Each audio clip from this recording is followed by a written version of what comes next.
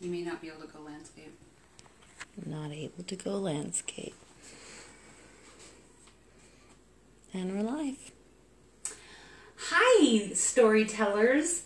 Uh, we've just loved all of your comments about your favorite mouse related stories.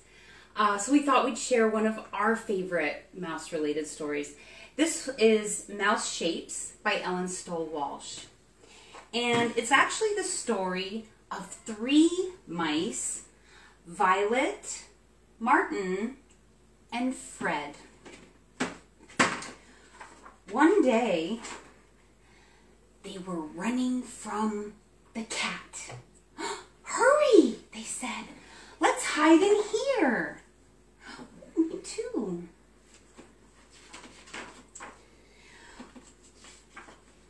After a while, Fred said, we lost him. Hey, look, says Violet. We've been hiding in shapes. We can make things out of these shapes.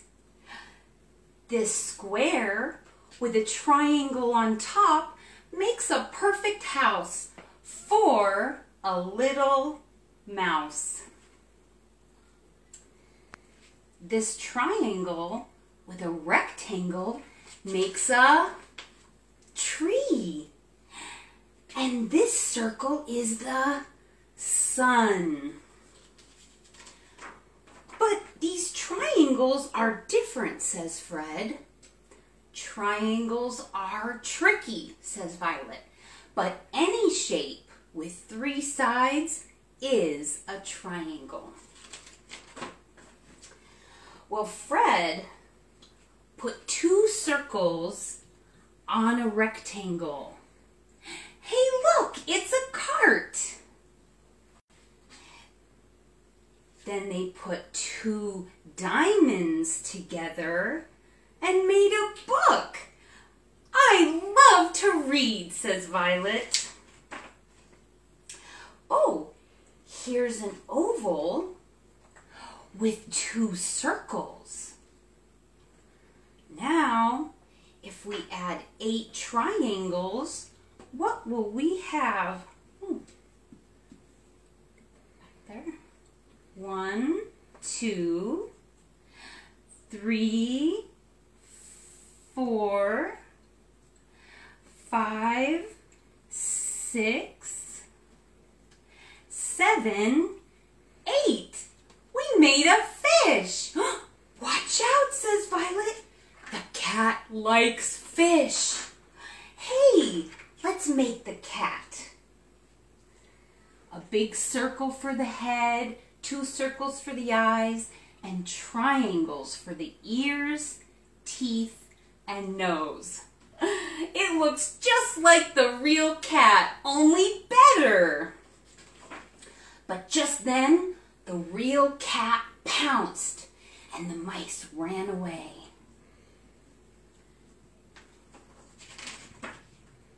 They didn't come back until the cat was gone. That cat's too sneaky, says Violet. If only we were bigger. Hey, says Fred, I have an idea. And those clever mice got to work. They used a circle for the body, a triangle for the head, two big circles to make ears, and two more circles each for some eyes. They even were able to make smaller shapes out of bigger shapes. And they made a giant, scary mouse. In fact, they made three. And the next time that cat came around, he got so scared he ran away fast and never came back.